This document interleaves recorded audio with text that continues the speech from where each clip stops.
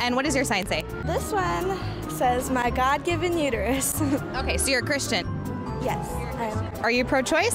I believe everybody should have the option to choose whatever they feel. So if you felt like you shouldn't have a baby, you should be able to make that choice? Yes.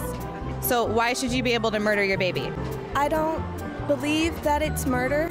But is that body inside of your body your body? Or is it, what was your baby's name? Lola. Is that Lola's body or your body? That's Lola's body.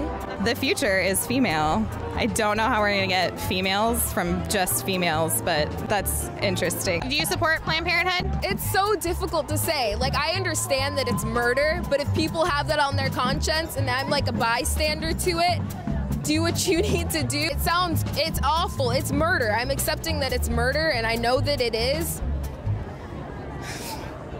Why should I be able to kill my one year old?